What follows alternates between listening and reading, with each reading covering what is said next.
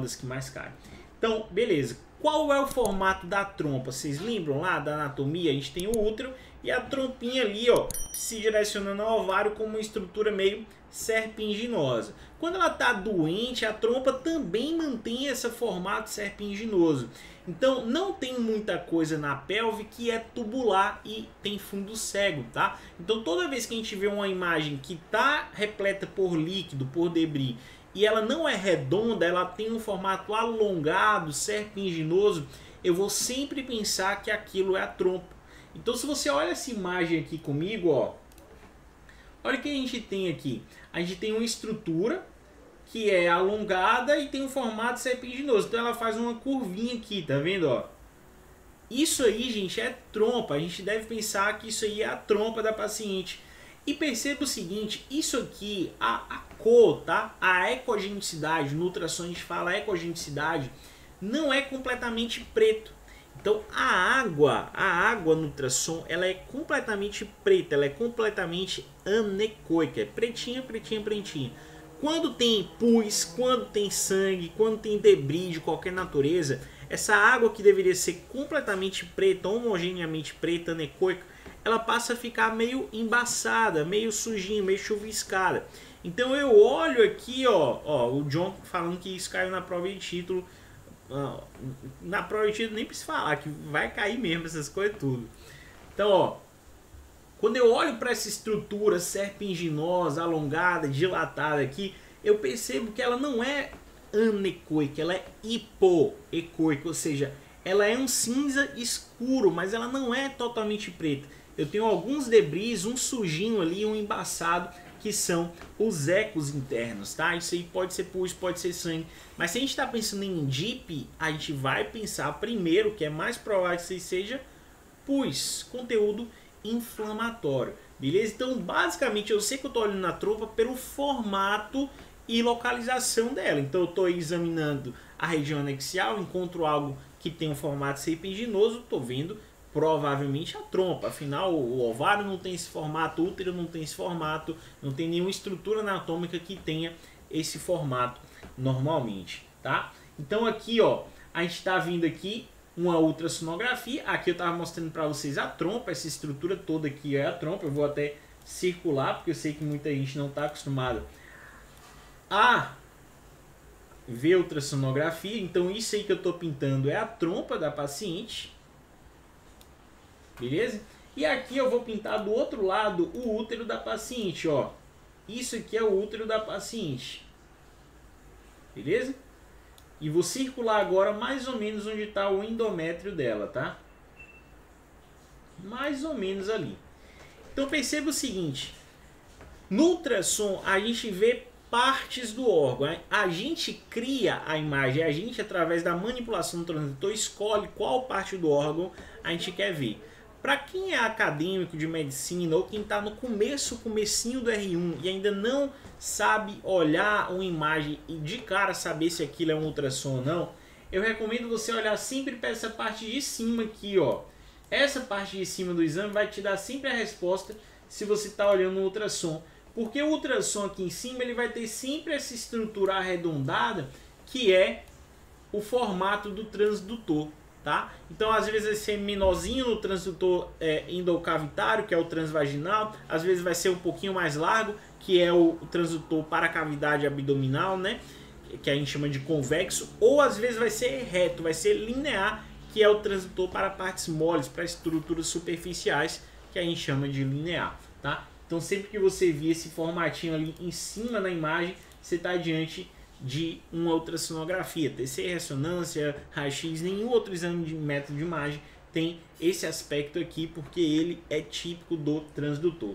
Então se aqui é o útero e aqui é o endométrio, o que, que é isso aqui pretinho do lado de fora? Isso aqui é líquido livre. E aí já vai guardando esses conceitos. A água na, no ultrassom ela é anecoica, tá? Então se tem alguma coisa a mais nessa água, não vai ser completamente anecoica. A gente vai ver uma imagem hipoecoica, ou seja, um, um cinzinho escuro, uma água meio chuviscada aqui, ó.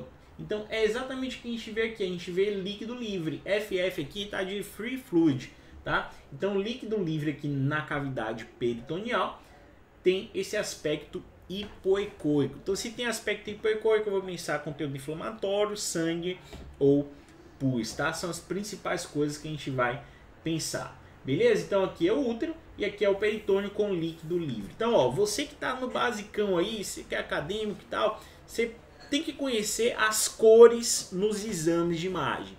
Então, cada exame de imagem a gente tem uma nomenclatura particular. Tem uns que a gente vai falar em ecogenicidade, ultrassom. Alguns a gente vai falar em densidade ou transparência, que é a tomografia e a radiografia. Outros a gente vai falar em sinal, né, intensidade de sinal na ressonância magnética. Mas basicamente tudo é escala de cinza. Então quando eu falo que alguma coisa é hipoecoica, eu estou dizendo que ela é mais pretinha no ultrassom. Assim como hipodensa é mais pretinha na tomografia. Assim como hipossinal é mais pretinho, só que na ressonância magnética. E o contrário é verdadeiro. Hipersinal mais branco, chegado para o branco na ressonância, hiperdensa mais branco na TC, hiperecoica ou hiperecogênica mais branco no ultrassom, tá? Então no ultrassom ainda tem o termo anecoico, que é quando não forma ecos, ou seja, é completamente preto, que costuma ser o que a gente vê quando a água tá bonitinha, limpinha. Beleza? Então, ó, que mais que a gente pode ver na DIP? Além da pia ou salpinge, a gente pode ver a inflamação do ovário, a oforite, tá? Então, esse exame aqui é um exame que, assim, o, o acadêmico estiver olhando isso, provavelmente pode ter um pouco de dificuldade, o residente está entendendo o que eu estou mostrando. Essa estrutura aqui que eu vou circular agora é o ovário da paciente, tá? E aí a gente usa uma caixinha aqui, ó, ao redor dele, que está apontada aqui para essa estrutura branca, que é para a gente avaliar o Doppler, tá? E aí a gente liga o Doppler colorido e vê aonde tem vascularização. E aí fica né, uma vascularização azulzinha, uma vascularização vermelhinha, e a gente vê se aquele órgão está vascularizado ou não. É porque a foto aqui está preto e branco, mas na vida real é colorido, vermelho e azul o Doppler colorido, a análise que a gente faz. Então, ovário inflamado ele vai tender a aumentar de volume, então você pode ter uma euforite, então um aumento do volume ovariano. E inflamação, gente, leva o que? Hiperemia, né? Quais são lá a, a, a, as marcas, as bases de processo inflamatório? Hiperemia, dor, calor, rubor e perda de função. O rubor hiperemia significa tá traduzindo o mesmo processo, né? Então aqui na imagem também acontece isso. Então hiperemia leva o que? Aumento da vascularização. E a gente consegue enxergar esse aumento da vascularização através do Doppler na ultrassonografia. Então processos inflamatórios agudos, eles tendem a ter sempre um aumento da vascularização local. Ao contrário, é, lesões isquêmicas, problemas que geram isquemia de um órgão, tendem a ter diminuição da vascularização, tá? Então, ó, edema faz parte de inflamação? Faz. Então, ovário inflamado geralmente fica edemaciado, então ele pode aumentar de volume.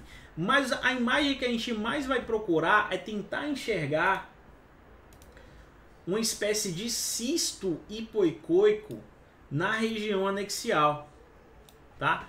Então, eu vou até passar essa imagem para a gente ver uma tomografia. Tá, aqui tá melhor. Então, ó, eu vou circular aqui, ó, o ovário. E eu vou circular dentro desse ovário a lesão cística, que é o abscesso, tá?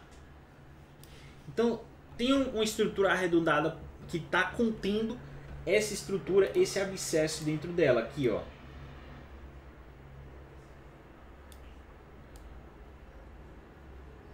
Beleza? Então, quando eu tenho abscesso ovariano, abscesso tubovariano, óbvio, o ovário vai aumentar de volume, aquela região vai ficar é, é, com aumento da ecogenicidade, a trompa pode ficar mais visível, ficar espessada mesmo na ultrassonografia. Mas o que eu estou procurando na real é uma lesão cística na região do anexo, tá? Entremeada ali no ovário, que frequentemente vai ser hipoecoica, ou seja, que no interior dela eu vou ver um monte de tracinho cinza, chuvisco, tá? ela na maioria das vezes não vai ser anecoica. Por quê? Porque eu estou vendo o que? Pus no abscesso. Então, na maioria das vezes, o abscesso ele não é anecoico. Pode ser, eventualmente, até não é impossível se encontrar, mas não é o que a gente vai esperar. Para os abscessos, a gente vai esperar sempre uma lesão cística hipoecoica com vascularização ao redor, tá?